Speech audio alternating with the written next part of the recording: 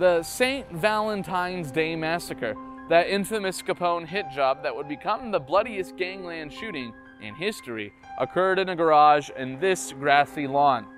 Seven Northside gangsters were ordered against a wall on the inside when they were suddenly fired upon by two Thompson machine guns.